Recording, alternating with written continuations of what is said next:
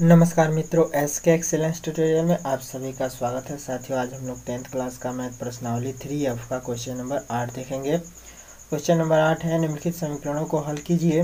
To x बटे ए plus Y बटे B बराबर दो एक्स बटे ए माइनस वाई बटे बी बराबर चार, ठीक है? तो इसको देखिए, यहाँ प्लस है, यहाँ माइनस है तो इसको विलोपन विधि से हल कर देते हैं, ठीक है? तो अब आइए देखते हैं इसको कैसे हल करते हैं। ठीक है तो यहाँ पे लिखेंगे हम लोग हल, दिया गया समीकरण है। तो दिया गया समीकरण क्या है? टू एक्स बटे अपन ए प्लस वाई बटे बी बराबर दो, समीकरण नंबर एक मान लेंगे। एक्स बटे माइनस वाई बटे बी बराबर चार, समीकरण नंबर दो मान लेंगे, ठीक है? अब जो है इसको जोड़ देंगे। तो लिखेंगे समीकरण एक और दो को जोड़ने पर। यहाँ लिखेंगे समीकरण एक और समीकरण दो को जोड़ने पर। ठीक है तो समीकरण का दो को जोड़ देते हैं तो समीकरण एक क्या है? टू एक्स अपान ए प्लस वाई बटे बी बराबर दो, और एक्स बटे ए माइनस वाई बटे बी बराबर चार। ठीक है, अब इसको जोड़ देंगे तो जोड़ेंगे तो ये ख़त्म हो जाएगा, प्लस माइनस में है तो। अब ये देखिए, टू एक्स बटे ए आई एक्स बटे ए, दोनों का हर एक समान है तो अंश को जो है सिंपल रूप से जोड़ देते हैं। अंश को ऐसे ही जोड़ लेते हैं। तो टू एक्स प्लस एक्स कितना हो जाएगा? Three x. अब बटे में ए हो जाएगा, ठीक है? अब बराबर चार और दो छ। तो थ्री एक्स अपान ए बराबर छ तो थ्री एक्स बराबर क्या हो जाएगा? थ्री एक्स बराबर थ्री एक्स बराबर ए ए इधर आ जाएगा, बराबर के इधर छः के साथ गुणा हो जाएगा तो सिक्स ए हो जाएगा। हम्म अब थ्री एक्स बराबर छः ए तो एक्स बराबर क्या हो जाएगा? तो छः ए अब बट्टे में हो जाएगा तीन तो तीन दूना छः यानी कि टू ए हो जाएगा, यानी कि एक्स बराबर हो जाएगा टू ए, ठीक है? तो एक्स की वैल्यू कितनी हो गई? Two a. अब जो है हम लोग क्या करेंगे?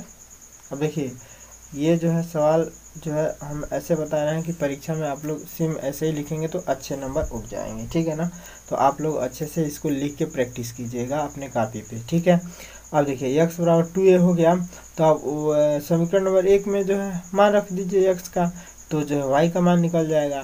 तो अब लिखेंगे समीकरण नंबर एक में एक्स बराबर टू ए रखने पर, ठीक है? तो यहाँ लिखेंगे समीकरण एक में एक्स बराबर टू ए रखने पर।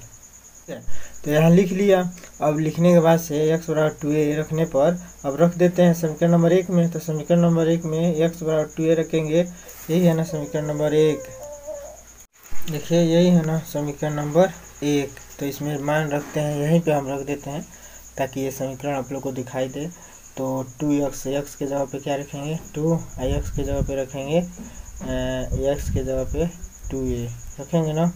बटे में तो तो ये रहेगा ही रहेगा। हम्म अब प्लस में वाई अब बटे बी बराबर दो लिख देंगे। ठीक है, अब जो है इसको सॉल्व करेंगे। तो देखिए, ए से ये कैंसिल हो जाएगा तो दो दुना हो जाएगा चार, अब प्लस में वाई, अब बटे बी बराबर हो जाएगा दो। ठीक है तो अब जो है इसको चार को इधर लाएँगे तो वाई बटे बी बराबर दो, अब माइनस चार हो जाएगा। हम्म तो वाई बटे बी बराबर दो माइनस चार तो वाई बटे बी बराबर क्या हो जाएगा? दो में से चार घटेगा, नहीं घटेगा तो चार में से दो घटा लेंगे चिन्ह माइनस का रखेंगे क्योंकि बड़ा है माइनस का, ठीक है? तो चार में से दो घटाएँगे तो हो जाएगा माइनस में दो, ठीक है?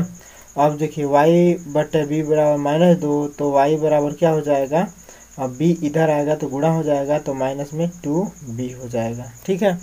माइनस में टू बी। तो वाई की वैल्यू कितनी हो जाएगी? माइनस में टू बी। ठीक है? तो ये हम लोग का आंसर हो जाएगा। ठीक है? तो यहाँ लिख सकते हैं हम लोग। अतः यक्स बराबर है टू ए के और वाई बराबर है माइनस में टू बी के। ठीक है? ये आंसर हो जाएगा। तो आशा करते हैं कि यह सवाल आप लोगों को समझ में आ गया होगा। सवाल अगर आप लोगों को अच्छे से समझ में आता है तो आप लोग इस चैनल से जुड़ सकते हैं और चैनल से जुड़ने के लिए आप लोग को इस चैनल को सब्सक्राइब करना पड़ेगा। नीचे जो लाल बटन है सब्सक्राइब का, वहाँ पे जो है उंगली रख दीजिए, आराम से सब्सक्राइब हो जाएगा एक बार, ठीक है? और हाँ लगता है कि हमें इस वीडियो में कुछ सुझाव देना चाहिए तो आप लोग जो है हमें कोई सुझाव कमेंट के द्वारा दे सकते हैं। ठीक है तो फिर मिलते हैं अगले वीडियो में एक अगले सवाल के साथ। तब तक के लिए जय हिंद, जय भारत, वंदे मातरम। पढ़ते रहिए, मस्त रहिए, खुशहाल रहिए।